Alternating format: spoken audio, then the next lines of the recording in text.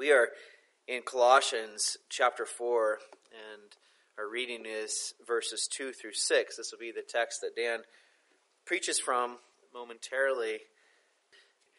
So, Colossians chapter 4, verse 2, where he writes, Devote yourselves to prayer, keeping alert in it with an attitude of thanksgiving, praying at the same time for us as well, that God will open up to us a door for the word, so that we may speak forth the mystery of Christ, for which I have also been imprisoned, that I may make it clear in the way I ought to speak. Conduct yourselves with wisdom toward outsiders, making the most of the opportunity. Let your speech always be with grace, as though seasoned with salt, so that you will know how you should respond to each person. Father, we thank you for the truths in your word and the hope that's in Christ, our precious Savior, our substitute, our treasure. I pray that we would be sanctified in your truth today and that you would help me to proclaim the glories due your name. We pray in Christ's precious grace. Amen. Two questions. What is your role in seeing others come to trust in Christ? The other question is how's your prayer life? These are two areas in the Christian life that we often feel most defeated in our evangelism and in our prayer. And we're going to talk about both today. The goal, of course, is not for us to lay out a guilt trip. That's easy. But to have the Word enhance our life in Christ so that we would be the kind of people who have our hearts shaped to be the kind of people who would pray, to be a people whose lives adorn the gospel. And this is really connected to what's your purpose in life? What is the meaning of life? Why are you here? If you've been with us, you've probably heard us talk about what the purpose of the church is. We talk about a threefold purpose, which is upward, inward, and outward. And this is our shorthand way of talking about first, upward, how we were created for a purpose, and that purpose is to glorify God, to, to see His value as the center of our lives, and to live that out in all that we do. And the second aspect is the inward, where both individually and a church, we become more and more holy, conform more to the image of Christ, and shaped to be like Him. He's not only our Savior from sin, but He's our example as well. And finally, third, the outward, we're to be a testimony to the world, pointing others to the hope that's in Christ, calling them to repentance and faith and forgiveness of sins and everlasting life. And these are all related to each other, they all reinforce one another. When we have God at the center of our lives, we want to be pleasing to Him, so we want to walk in His ways, and that shapes us inwardly. And as we live in His ways, we're also called to call others into those ways as well and to see His greatness. And we talk about how that is the purpose of the church. And of course, the next question is what's the church? The church is people, those who have trusted in Christ. So if you've trusted in Christ, this is your purpose. Where do you fit into this purpose? How, how, do you have your life shaped by the, the upward, inward, and outward aspects of what Christ has called us to do? That's what we want to look at today. As we look at the letter to the Colossians, we see an example of a people who have trusted in Christ and their faith made a difference in how they looked at life and how they lived. Going back to chapter 1, and Paul was talking about when he heard of their faith. Verse 4, he said, We've heard about your faith and the love which you have for all the saints because of the hope laid up for you in heaven. They, they have this love, they have this faith because they've come to embrace the hope of being with their God. They've heard the word of the gospel, the word of truth, God's grace to them. And it's constantly bearing fruit in their lives. This hope of heaven that they have of being with Christ, it shapes them. They've come to trust in Christ as the determiner of right and wrong, their Lord, their master. You remember last week we were summarizing this prominent theme in the, the letter to the Colossians here of the Lordship of Christ. In the midst of so many competing ways of understanding the world around us, Paul has reminded them that He's the Lord of creation. Verse 15 of chapter 1 He made all things, all things are for Him, including you. Verse 18, he's, he's the Lord of the church. He defines what the church is to be and what we're to follow. And then we get to chapter 2, verse 6, and we see that He is the Lord of my life. As you've received Christ Jesus as Master, as Lord, so walk in Him. Conduct all your life in Him, meaning that Christ is the one that you are to follow. You weren't made to live independently. We're, we're joined to Him like in a marriage. And if you've come to trust in Christ, it, it means you've accepted Him as your master. It's the Lord of your life if, you, if you've understood what it really means to have faith in Him.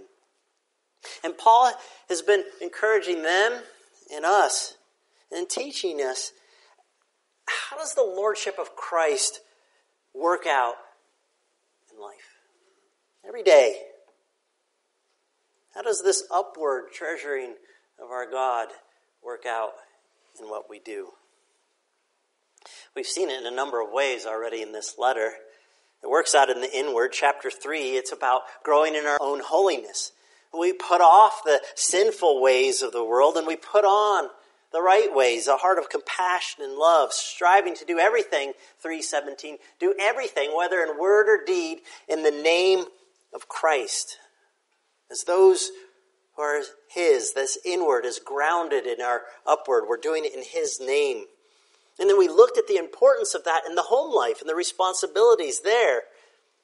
Fathers, mothers, children, masters, slaves. And now we're going to look at the importance of reaching out to those who don't know Christ. This is the outward. As we see, this, this also flows from the upward too. It's related to our inward. So, what we're going to look at today is two essential elements of our outward life in Christ. And it's first talking to God talking to people.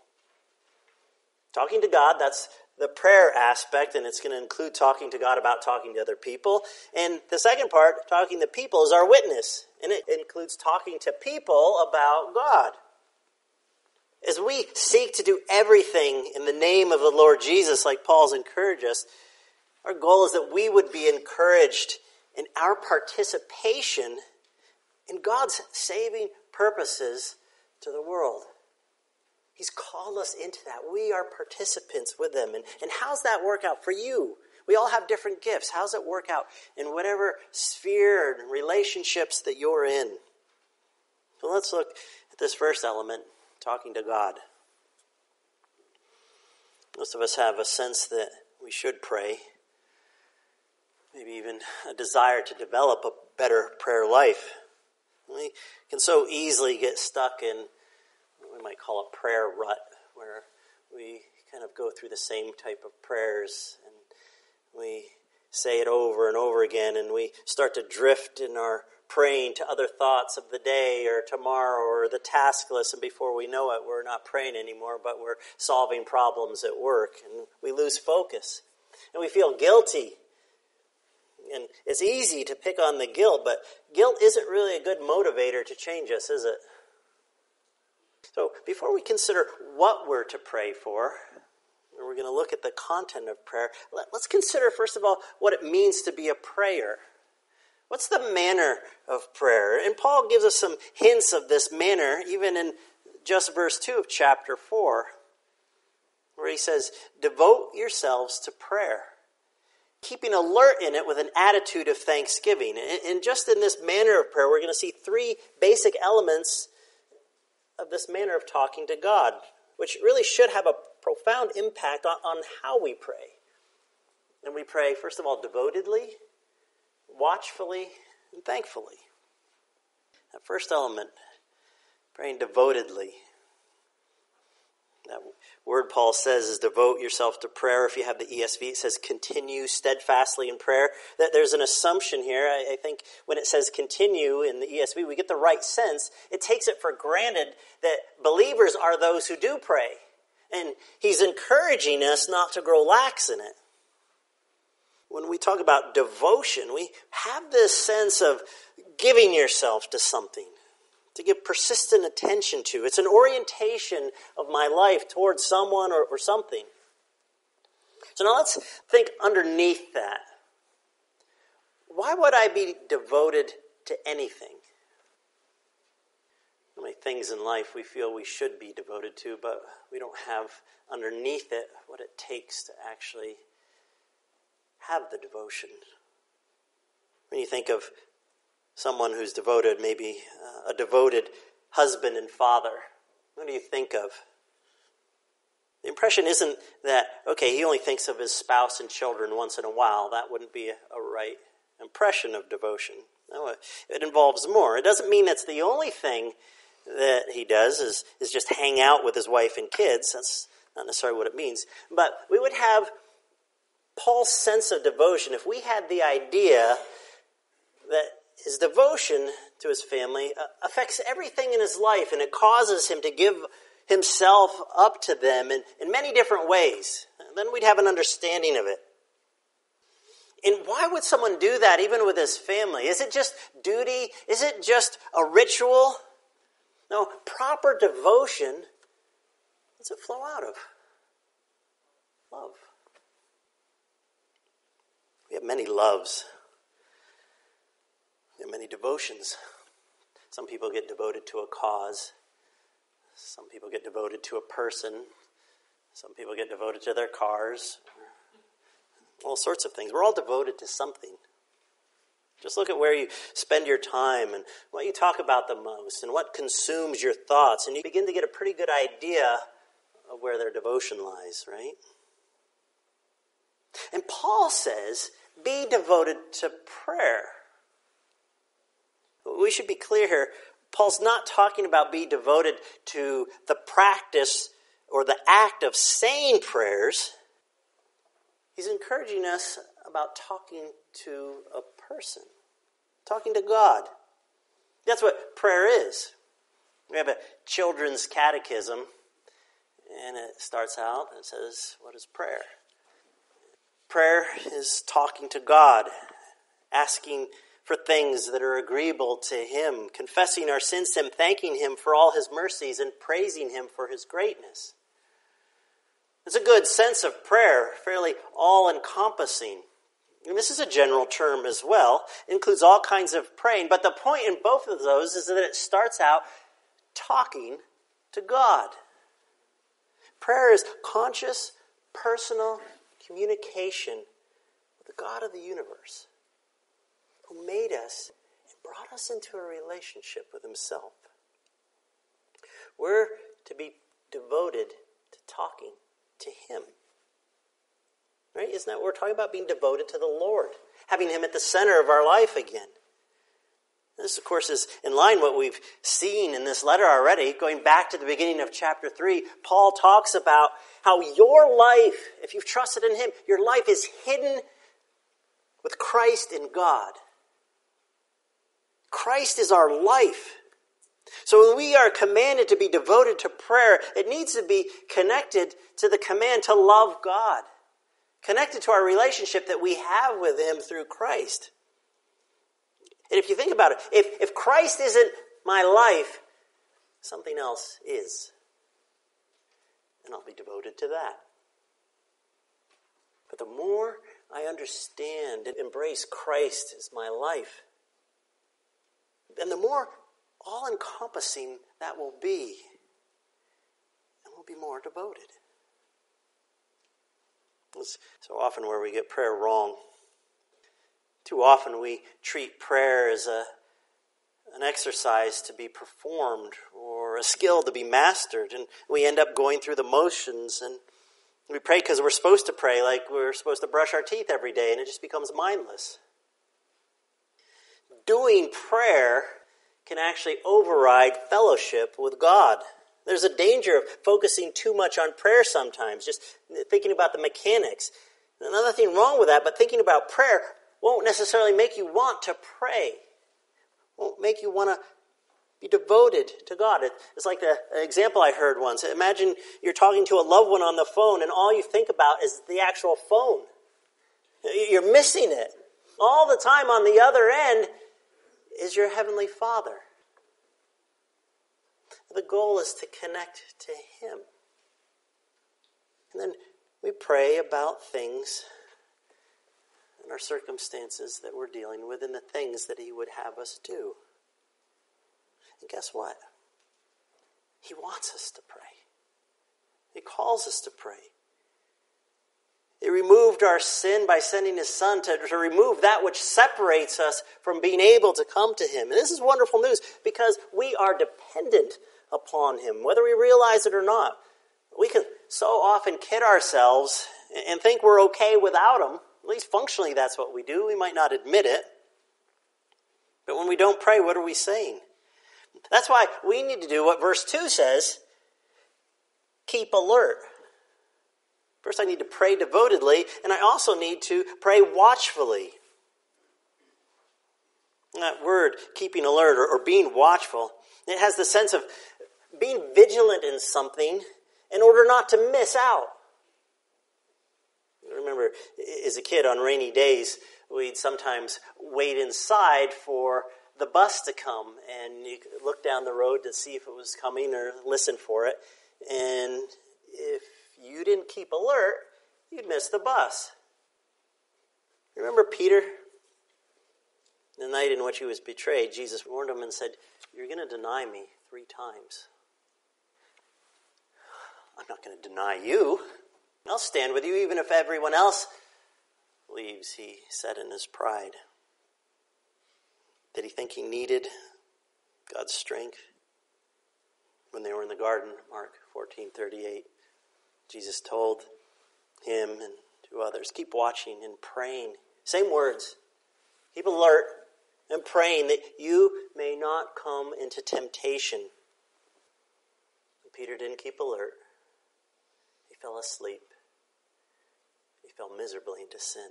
And he denied his Lord three times when the temptation came. And he went out and wept bitterly. So it is with us. We're to keep alert in the light of the temptations around us that might take us away from Christ and away from the hope that we have in Him. Even in Colossians, look at some of the temptations to come chapter 3, verse 8, the things that we're supposed to put off, these are all temptations. We can be tempted to immorality and anger.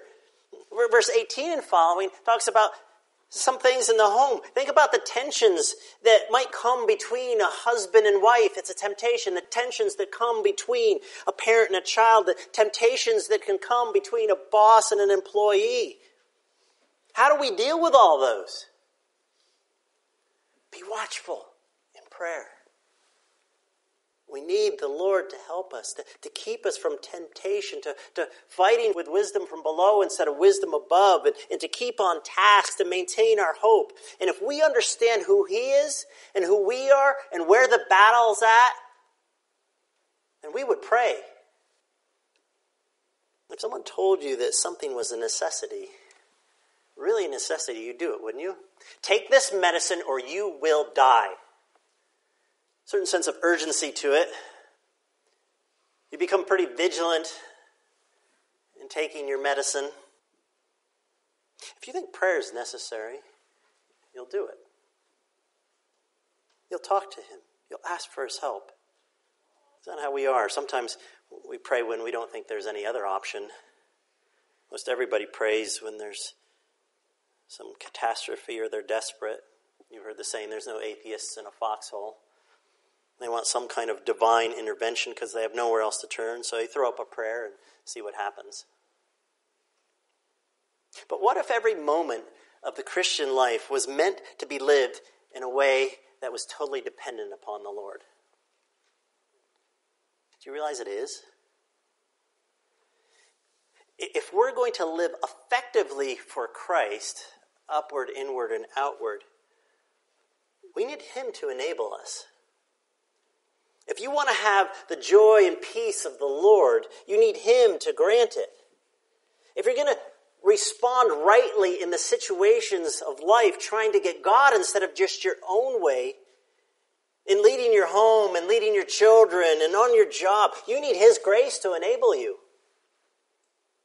If you're going to have the right focus of life, understand the right purpose, and to pursue it, you're going to need Him to incline your heart to do it. Such a good prayer. David says, Incline my heart to your testimonies. Why? He knows it's not always that way, and he needs the Lord to help him in it. And if you're going to love others rightly, you need his love to compel you. All these things we can't do without a dependence on the Lord. Like Jesus says, apart from me, you can do nothing. It doesn't mean you can't do things, but not the things in the way that He wants us to do it with a devotion to the Lord and a love for others. And prayer is the clearest demonstration that we are utterly helpless to live the Christian life apart from Him. So devote yourself to prayer. Pray devotedly. Express the depth of your need for God. And do it watchfully.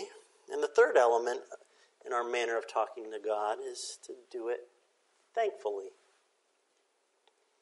We need to come with this attitude of thanksgiving. That's what it says here in our passage.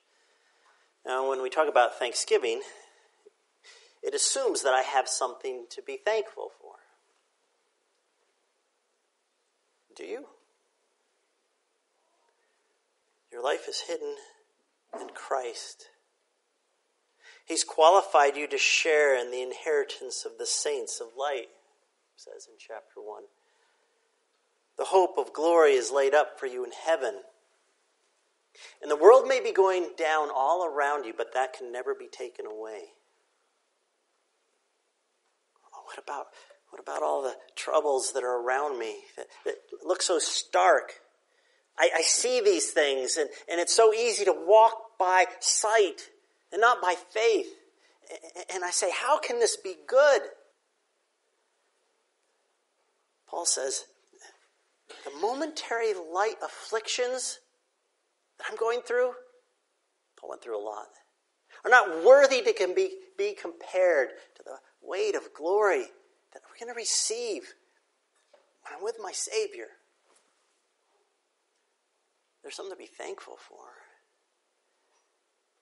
We might say, I'm not there yet. How can I be thankful? And all these difficulties. Sometimes we think, okay, I can be thankful for the forgiveness of sins. We have this notion of expressing gratitude for things in the past, previous acts of kindness. And that's right. We, we do have the forgiveness of sins. We've been adopted, made children. We're justified. We know that we're God's children He loves us. And, and He works in our lives too every day we can lay down our head and we can probably give thanks for the blessings we've received. Count your blessings, name them one by one. But the part we often forget is that thanksgiving can also be forward looking. We, we say thank you for things. Uh, someone hands you something, you have it now, and we say thank you. But, but look, think about just sitting at the dinner table. You pray before the meal. You haven't eaten it yet, but it's in my sights. I give thanks for the delights of enjoying it and the nourishment that my body will receive that I'm about to partake of. And I tell you what, in Christ, though, we should always have heaven in our sights. It's ours, it's there before us. I know it's mine. And I'm looking forward to partaking. And then I can live in thankfulness, even in the midst of things that might not be going like I think, but is in God's good control. I, I know we've experienced this firsthand. When we're not thankful, we're usually discontent. We start looking at other places. We take our eyes off the devotion to the Lord and we fix our hope in so many other things instead of what He is to us in our lives. But what God has given us, so that His future acts of kindness is, is already a victory that's been obtained. It's ours, it belongs to us. He's, he's accomplished it for us. And Paul, 1 Corinthians 15, talking about the, the hope that's of the resurrection, he says, But thanks be to God. He gives us the victory through our Lord Jesus Christ. We have that thankfulness. And this attitude, then, then we pray for this proclamation of Christ's victory to go to others, that they might be brought into this hope. And that's now takes us to the next part of talking to God. What's the specific content? We've seen some of the manner of praying, but now what do we talk about? What's the content of our praying? Verse 3. Paul moves to prayer for himself and to others who are engaged in ministry with him. Pray for us as well. Pray that God will open up a door for us in the Word. And, and he goes on, and, and, and that I may make it clear in the way I ought to speak. Way I ought to speak.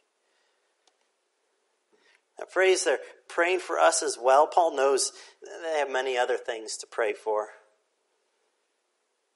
Paul says, please pray for me too. Isn't Paul the great apostle? Bold proclaimer of truth? Yes. And he recognizes that apart from Christ, he can do nothing too. He says, I don't want to walk this alone. Pray for me. Uh, he doesn't have any pride, he doesn't have any problem admitting his need and dependence. Do you ever ask people to pray for you? Some of you walk things alone because you don't want to let others walk with you. It doesn't have to be. It's so easy to, to ask how you can pray for others. Paul says, these people you pray for, let them pray for you. That's what Paul did. Paul prays for them all the time, beginning of the letter again, verse 9. Since the day we heard about you, we haven't ceased to pray for you. I pray for you. Pray for me. Why? Why prayer? It's not just talking for the relationship aspect of things. We pray because there's this glorious wonder in the universe that the all knowing, all wise, all sovereign God has ordained to use our prayers and respond to those prayers to accomplish the things He's ordained. Now, how do we understand those things? But, but God ordains the means as well as the ends. He ordains that it would rain, but He ordained that Elijah would pray that it would rain. He ordains that Paul would speak boldly. He ordains that people would pray for him, and God would answer that prayer, and he would speak boldly. Paul he wants what God can do, not what he can do. And so before his human act of speaking the gospel, and that's what he's talking about here with the, the mystery of Christ in verse 3, the, the revealed truth that God's saving work is all centered in Christ. Before his act of speaking the gospel, he asked them to pray. You talk to God about me talking to people. You see what's going on here? To Paul, prayer isn't simply uh, just presenting your own private, personal wishes and desires to God. Instead, it's a way for believers to participate in God's unfolding redemptive plan in history. You see, a key aspect of evangelism is done on our knees with God. You realize that? upward, inward, outward. We're outward even in our closet. If we're praying to the Lord, we participate in what's going on. Sometimes we have this mindset. We have lost friends or something, and our, our goal is to bring them to church. Let the preacher save them. That's fine. Bring people to church. But don't just lay that responsibility on just the preacher. Don't lay it on me. I can't change hearts. Only God changes hearts. Lay it before the Lord. Even if you don't preach, pray. It's not just a ritual to be performed, it's a critical means through which the gospel mission is advanced and accomplished. And you are part of it through prayer. Not everyone has a gift of preaching, maybe not teaching, but can still be involved. That inward, outward, and upward is something that you're still supposed to be involved in. Together, we're involved in it. Different gifts, different roles, but we're all called to pray. And as you pray, Paul says, I'll proclaim. And through that, others who don't know Christ might come to know him. And so Paul says, Pray for me for an open door for the word. Notice he didn't say, Pray for an open door for me, but pray for an open door for the word. Where's Paul? Paul's in prison when he's writing this. He's not praying that he would get out of prison. That's not his primary concern. Remember Philippians? He wrote Philippians when he was in jail. And Paul says, Here I am sitting in prison. And my, my going to jail, it didn't hinder the gospel. It opened doors. Philippians 1.12. I want you to know, brothers, that what has happened to me, being put in prison, has really served to advance the gospel. And Christ is proclaimed, and I rejoice in that. Paul just wants to be used by God wherever he is. When we see examples like this, it should move us to reassess our own prayers. What do we do? We so often focus that God will change our circumstances. And we shouldn't focus so much on changing our circumstances, but start praying that God will enable us to respond in the right way in the midst of our circumstances so that more people would come to know Him because we're in those circumstances. That's a big difference in how we pray.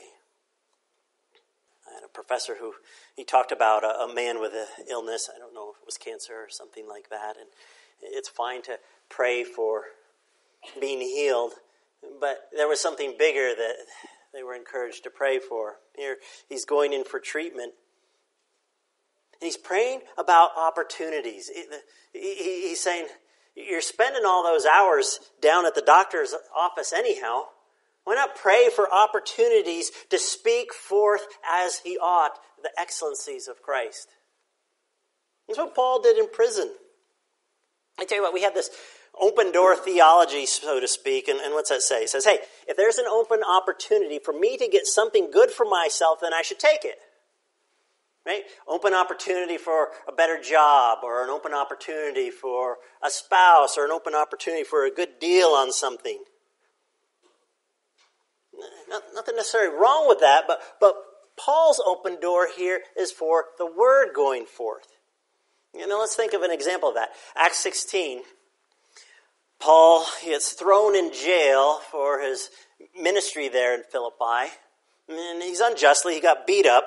And there's this miraculous earthquake that opens the cell doors of the prison without destroying the prison. There's a literal open door that he could escape through and go out. But there's also another open door. There's a jailer there who would be a dead man if all the prisoners left. Which open door did Paul take? He stayed in this cell. And he got the opportunity to share Christ with the jailer. And he spoke the word of the Lord to him, and he believed. Paul already had life. The jailer didn't. Pray for me, Paul says, that I may make it clear in the way I ought to speak. Apostle Paul again. He knew the gospel as clear as anybody. And he asked for prayer.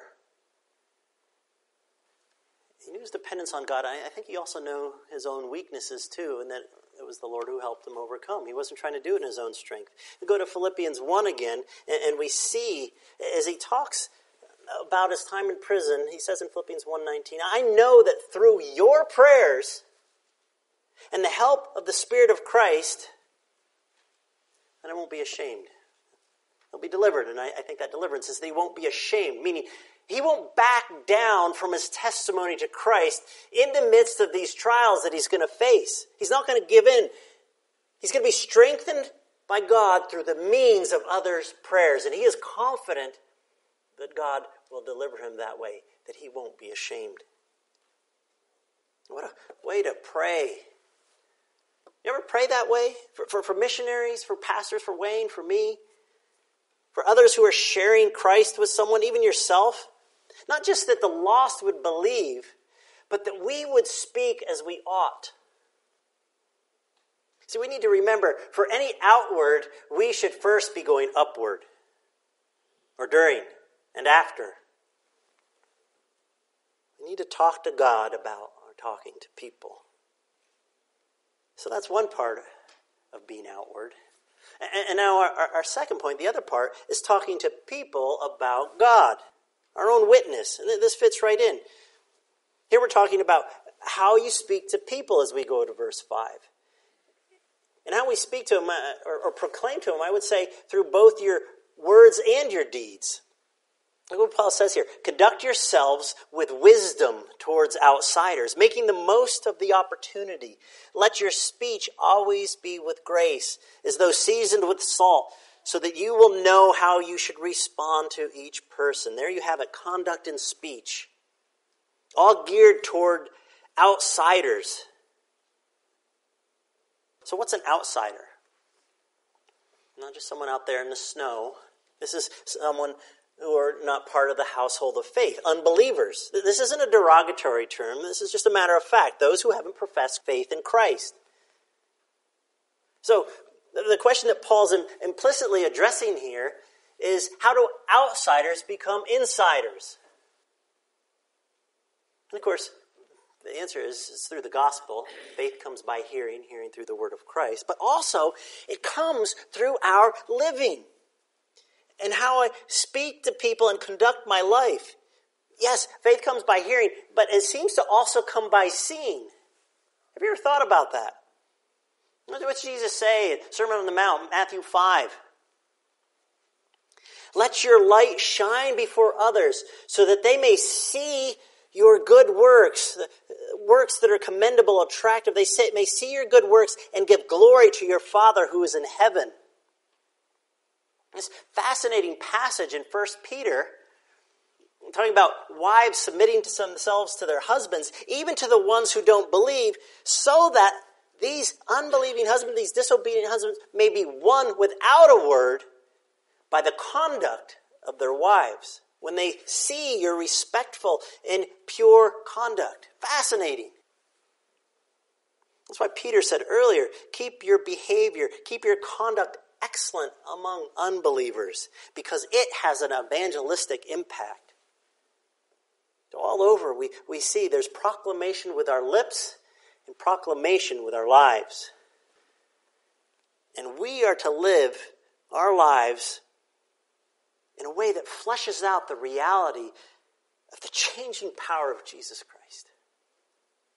And we need wisdom to do that rightly. Conduct yourselves with wisdom. What's wisdom? It's the ability to understand and apply the Lord's principles to our living, right? That's what wisdom is, real wisdom. How do I live with, with principle driven lordship life? How, how do I do that? Well, I can say what it isn't. It isn't living like the world to win the world. This is what You hear sometimes people take a verse out of context from Paul's letter to the Corinthians and say, I become all things to all people. And, and, so we think that I should become like the world so I can speak to them. That's not what it's talking about. It's talking about giving up your personal freedoms so that you will have an opportunity that's, that's not necessary to actually be in their lives and speak the truth. But it doesn't say that I should become worldly to point them to godliness. That's not what it's talking about. No, wisdom is how to live with Christ as Lord. That's what Paul's been talking about here. So that people see the difference and they might ask why it's different. This is so important. What's the negative side? If we live our lives so poorly that we're just like the world, then they won't hear us when we talk about how precious Christ is when we give him up every day and do other things. It doesn't match.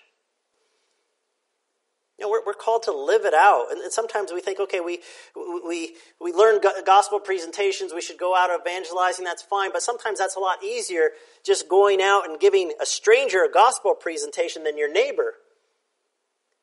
The stranger doesn't know how you live, your neighbor does. Now, are you, are you going to speak in a way that's consistent with how you live or vice versa? But positively, if you live with the hope of glory and in love that's compelled by God's love, you're compassionate, you're kind, you're, you're humble, you're patient, you're forgiving others. These are the things, chapter 3, we're supposed to put on. Then people begin to see the reality of Christ in you. Do you know that most conversions, some people take statistics, I don't know how they gather these things, but apparently most conversions don't come from a church program or even professional ministries, but most come through friends and neighbors who share their faith. Our lives have an impact. We can be part of the outward. Your neighbors who watch your life, they'll see how you interact with your family, how you're considerate to them, how you help them out, how you handle hardship even suffering. And when we handle it the Lord's ways, and sometimes that can be even confessing our weakness and our need, be humble repentance. When we handle it that way with the Lord's hope and the Lord's grace and pointing to Him, that's making the most of every opportunity. You remember Paul back in Philippi in the jail again? Treated unjustly, and what's he doing at night? Praying and singing hymns to God. I'm guessing that wasn't the first thought of many of the other prisoners in there. Make the most of every opportunity, or as the old King James says, redeem the time. That's one of those verses that gets used out of context for time management seminars, trying to help you be more efficient with all your task lists. Nothing wrong with that, but that's not the point of the passage. It's more literally buying up time. Making the most of opportunity is a good translation. It's using this life to exalt Christ on, on how you live and speak until he comes again. Because we're living in light of, of Christ being right there. We see it, it's ours. It's our hope. And we're redeeming the time while we're here, or we're buying up the time while we're here. We're to be outward. Right? In heaven, we're, we're going to be totally upward because we're being praising God unhinderedly. I made up a word. We're going to be perfectly like Christ. We'll be like him, but we won't have an opportunity to be outward. So he has left us here for that purpose. As we worship God, become like Christ, and proclaim his excellencies. So, when we think about this, there's some implications. Our outward doesn't need to be limited to some five minute gospel track presentation. This is considering actually something that's a little bit longer, more involved pursuit. From them seeing your life, they see it and it might bring them to ask, What makes you tick? When All this stuff's going down and, and you have hope. Why do you live that way? Notice verse 6. Paul says that you know how to respond. By putting it this way, Paul's assuming that, that the outsiders are going to be raising questions about the faith of the Colossian Christians. That they would have an opportunity to speak. it's like in 1 Peter 3.15. That they might ask for the reason for the hope that's in you. In the context of that is when you're suffering. And then you answer them. You give the reason. You point to Christ. Yes, uh, our response communicates the content of the gospel. That really is where our hope is. But, but it's also done in a certain manner that will make the gospel attractive. Let your speech always be with grace, as though seasoned with salt, verse 6. It's going to be gracious. It's not trying to clobber, it's trying to be winsome. So often we can try and win an argument instead of point others to, to God's grace that they need. The speech part is, is sometimes where we get hung up. I know some of us have a hard time speaking. You can say, oh, I, I get so fearful, or, or I clam up. I don't know what to say. I, I get all twisted back on myself. I think we can understand that. And we can all grow.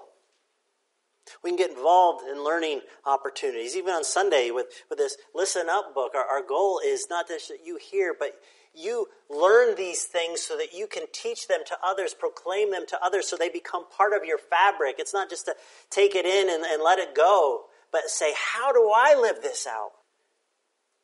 How can I be equipped for ministry? But even apart from that, the first words for this outward focus are pray and then live out a certain way in our behavior. Let your light shine that others would see. And then know where your hope is, know in whom you've believed. To, to be ready to give a reason for the hope we have, you got to be hopeful first. Understand what that hope is, and then tell people when they ask. And there's one more thing deal with people as people. Notice that last phrase in verse 6. Paul says to each person. Know how to respond to each person. The implication, there's, there, there's something individual going on here. It's talking about the significance of talking to a person uh, according to their own understanding, their own circumstances, their own struggles. Deal with people as people, not, not just giving them some canned thing, one size fits all. Same gospel, yes, we should know those things. But deal with an individual. Care enough about the person. Deal with that life that's in front of you. Walk with them. Understand where they are. Listen to their doubts, their fears, their hurts, and point them to Christ. This is how we live outwardly. First, we talk to God about people, then we talk to people about God as we grow in our own life in Christ and in wisdom and living at the lordship of Christ, He will give us opportunities. Let's pray together that the Lord would use us and, and bring a harvest that we might rejoice in being part of His purposes. Father, we come before you and ask that you would indeed fill us with all knowledge and spiritual wisdom, that we would know how to conduct ourselves that we would know our deep dependence upon you and that you'd be pleased to help us. Let's pray for one another, use our prayers, we would grow in our outward life in Christ even as we become like Him, even as we trust in you more and more and see your wonderful worth in Christ for us. And let us be careful to give you all the thanks and praise. We pray in Jesus' name. Amen. His name. Amen. His name. Amen. His name. Amen. His name. Amen. His name. Amen. His name. Amen. His name. Amen. Name. Amen. His name. Amen. His name.